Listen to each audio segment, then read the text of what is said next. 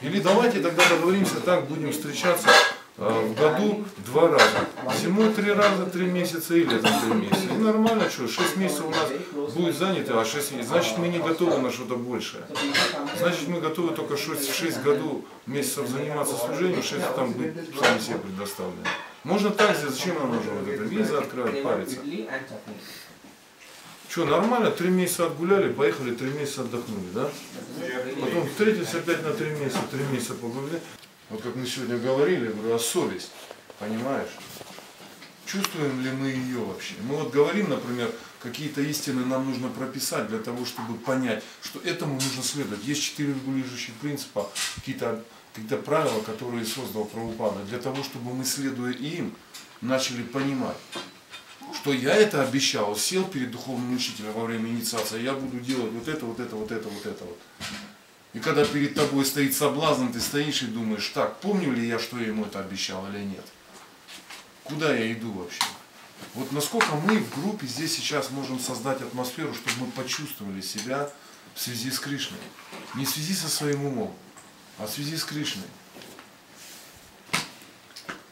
Я вот сейчас вот, вот сейчас вот реально не могу понять, вот к чему, э, вот, вот, вот так мы как сейчас напалили, к чему, как, вопросы почти хорошие, а, а вот реально, то есть это все так, надулось, а к чему, то есть следующий шаг какой? Что следующий шаг такой, нам надо конкретно сейчас создать устав в группе, чтобы все знали его и знали, как нужно действовать в группе, что нужно делать. И каждый взял какой-то, это как регулирующий принципы. Вот этот устав как регулирующий принцип, правильно? Мы, мы вошли в группу, и у нас есть, знаете, потому что этот устав, он страшит. О, я теперь обещал, теперь мне еще надо будет. А как? Обещал четырем регулирующим принципам следовать, следовать, раз нарушил, и что дальше? А, никто не видел, никто не видел, он видел.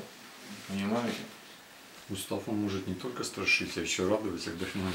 О, ну, а почему это уже другая что, сторона? Потому что устав это в нем же прописывается, ну как бы устав это такая объемлющая вещь, которая раскрывает суть группы, а также все аспекты существования группы и членов группы, да, то есть как проявление, как э, духовного существования, как материального существования группы и каждого индивидуума в этой группе, группе или личности, также и проповедь, ну то есть это просто разные аспекты. Ну это хороший, это как бы наш барьер, который мы должны взять. Да. И мы должны его взять, и мы возьмем его. Просто волна такая идет, что этот сустав, блин, первый мы сейчас этот сустав такой, что, блин, я просто шаг не смогу влево ступить. В смысле, я не говорю там уехать или выехать из группы, ну, в смысле временно. А к тому, чтобы этот устав дал развиваться духовно в первую очередь. А не так, чтобы он нас ограничил. Значит, и, блин, начинаем с того, каким устав не должен быть. Я перед... У меня сидел человек, который уже ничему не следовал вообще. Он на меня сидел вот так смотрел. Вы знаете, что он сказал? Рама, говорит, ты же обещал, говорит, Махараджа. Знаете, человек ничего не следует. Я ему сюжет говорю, он вспомнил, что я обещал Махараджу. Я говорю, слушай, говорит, что ты мне такое втираешь здесь вообще? Я с ним начал говорить, как мы говорили до Хари Кришна. Я не буду этот language весь здесь говорить. Зачем ты мне это говоришь? Он мне, знаете, что сказал? Вот то, что ты следуешь, продолжаешь, это единственная надежда для меня, чтобы вернуться. Понимаете? Вот этот устав, вот этот устав, если даже один, два, три человека будут у нас в группе этому следовать, все остальные потянутся. Нам нужен пример просто. Но нам нужен пример реальный, что люди чему-то следуют. Потому что придет смерть. С чем мы подойдем к этой смерти? Нам нужна какая-то опора, основа, нам нужно что-то, чему-то следовать. Мы стали следовать регулирующим принципам, да, там что-то там еще начали делать, но надо дальше идти. Регулирующие принципы это не освобождение от духовного мира. Вот. вот мы приедем сейчас в Аглавницу, соберемся, у нас на следующий день, завтра у нас будет, послезавтра у нас будет выходной после вот этого переезда. И мы давайте соберемся, не, серьезно, и каждый просто вот скажет, что он, он думает. Да есть те личности, вот мы просто на мир смотрим с одной позиции, а есть личности, которые над бунами давно стоят уже, и смотрят давно по-другому. Они просто посмотрят и скажут, ребята, вот это просто вас через два года сделать параноиками, и вы разбежитесь. Вот и все. Да, если кто-то одобрит, да, Мы старший в бред, гуннах плаваем, а кто-то уже вне гунных давно будет находится. хорошо. Вне гуннов называется, я слышу. Мы хорошо. можем устав написать, отправить Кеши Махараджу, при этом Борис Махараджу, ну пока. Вот, они нам помогут просто, одобрил. не то что сказать, это вот заключение, пусть они нам помогут Вот, сделать его вот, об более совершенным. Этот устав, он просто позволит нам меньше конфликтовать даже друг с другом, потому что будут прописаны какие-то идеи, Да, и как принципы, да, и как их решать. И все, человек, он приходит, он ознакомился с этим, и он понимает, куда он попал вообще. И вот тут вот начнет всплывать, так, нужно ли мне вообще, мой ли это уровень, могу ли я вот этому следовать или нет.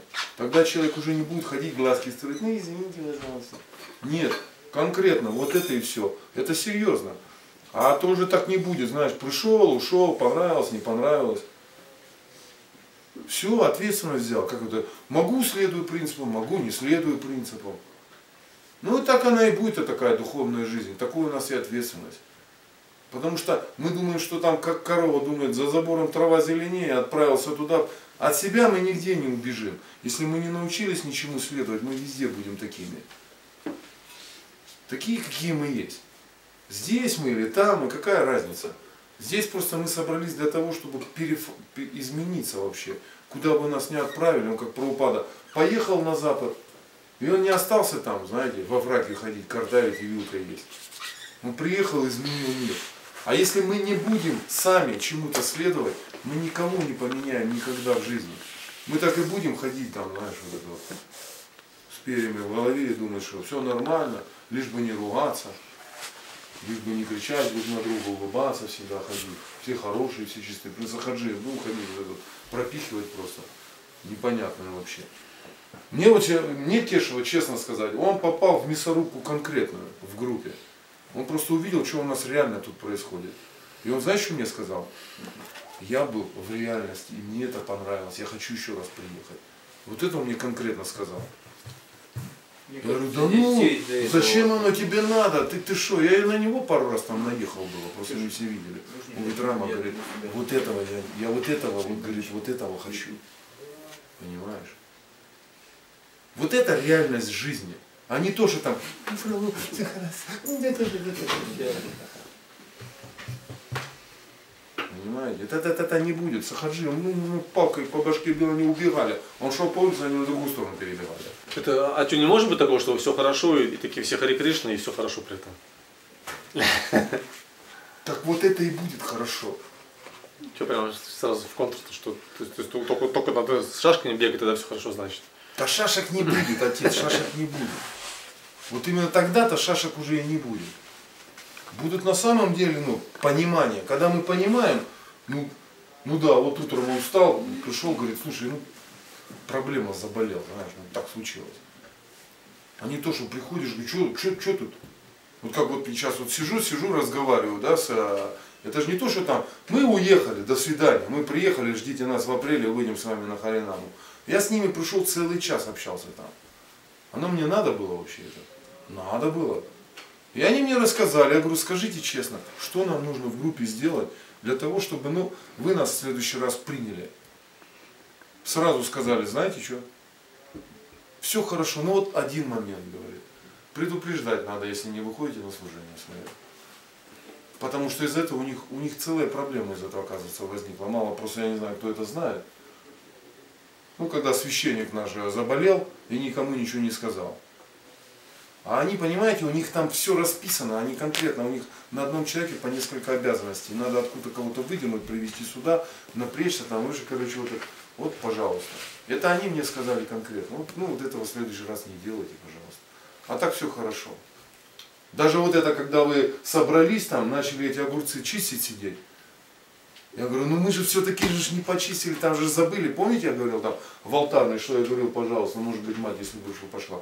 А это их уже косяк был, и он мне в этом признался. Ну, Аббата, он был занятый, ну, понимаете. Вот и все.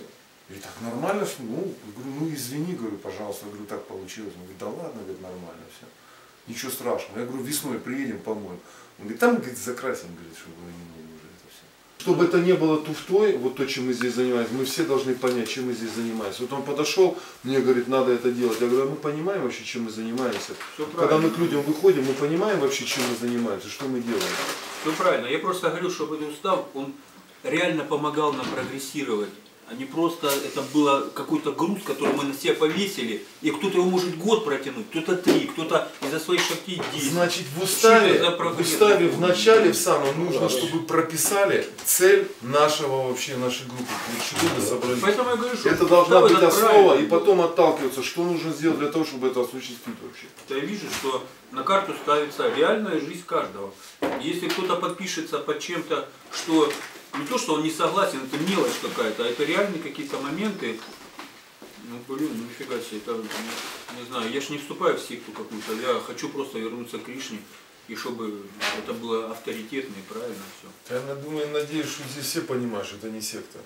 Не, ну, понятно, ну я, я думаю, поняли все. Это серьезно. Ну, я же говорю, чтобы это было вот правильно. Ну, чтобы этой правильно. секты не было, надо понимать, чем мы тут занимаемся.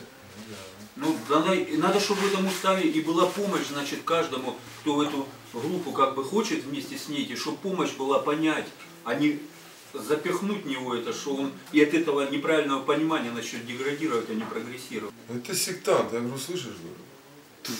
Да ты сектант, говорю. Ты в секте, говорю, курильщиков. Я, говорю, свободен от этого. И ты хочешь мне навязать вот это вот то, что ты делаешь, вот это не секта. Ты ограничен вот этим, а я, говорю, свободен от этого.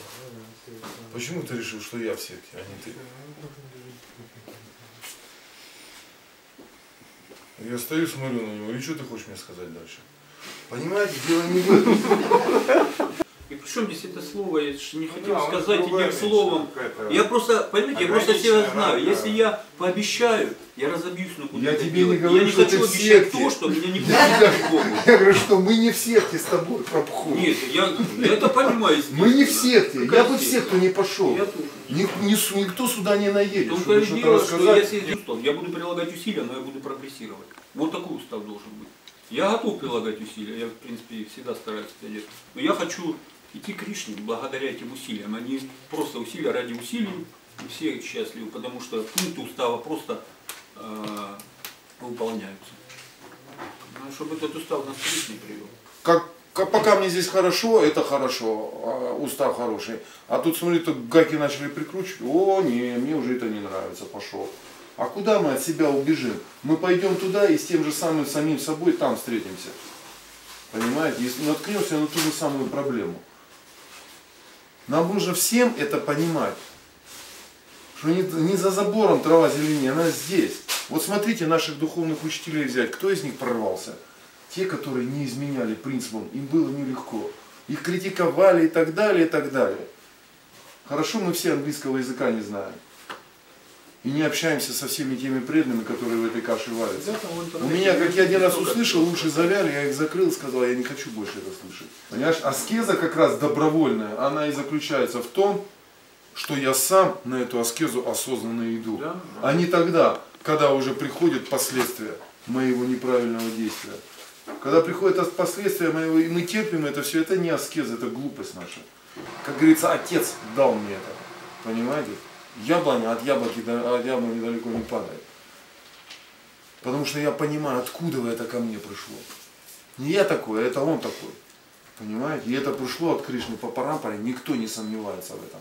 Поэтому оно спокойно до нас дошло. Мы не должны просто запрудить эту милость и на себе сосредоточить, думать, что я такой. А когда она придет к нам, это понимание, а тогда, когда мы серьезными станем, когда мы начнем этому следовать и будем понимать, а не то, что там похвалили, глядишь, давай, давай, еще, не, я падший, не, не, не, сопли вообще, клянусь. Когда конкретно человек убежден, кого на самом деле прославляет. Вот это жизнь. А пока мы вот это не опишем, не будем этому следовать, мы не придем к этому никогда. Так и будем, знаете, непонятно где болтаться. Прабхупада не сомневался в этом, мы его прославляли, а он, вы же видите, какой он был, он всегда был серьезный вообще. Он никогда не расплывался. Людям это не надо, им нужна серьезность какая-то. Прабхупаду поэтому и приняли.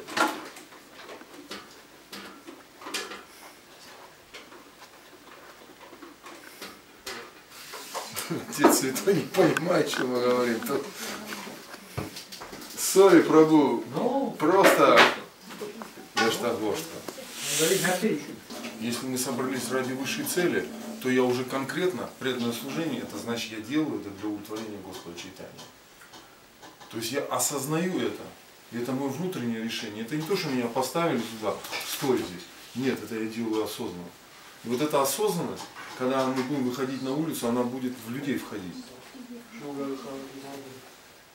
То есть мы не просто вот это то, что мы видим, а те, которые сделали этот выбор. Мы вот так уже будем друг друга рассматривать. Не вот этими глазами мы будем видеть, а мы будем понимать друг друга, потому что мы такие же, как все здесь, которые приняли это решение. Когда мы спим, если у нас нет никаких обязанностей здесь, в этой жизни, мы не проснемся. А если я знаю, что мне надо утром идти на работу, зарабатывать деньги, кормить семью, да сколько бы я там не спал, полчаса я встану и пойду это делать.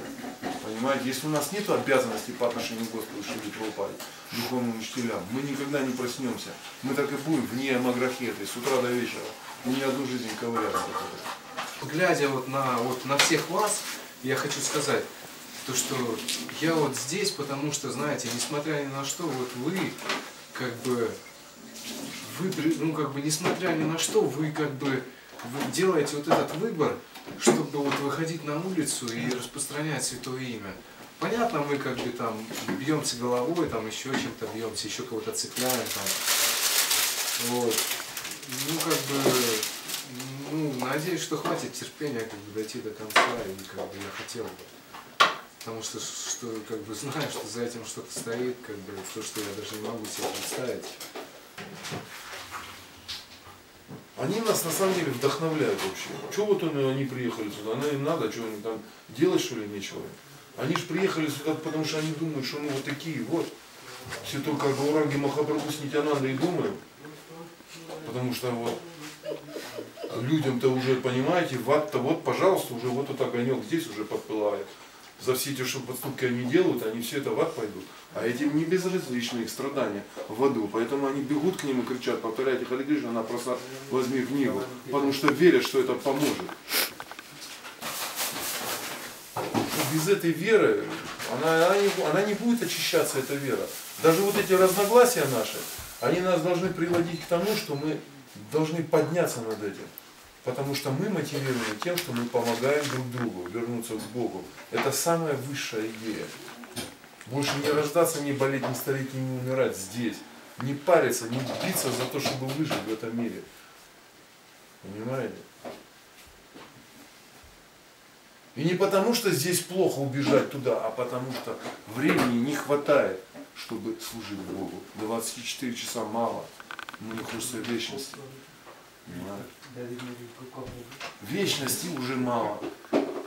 Поэтому я иду за Чайтани Махапрабху. Он находит варианты, как это делать.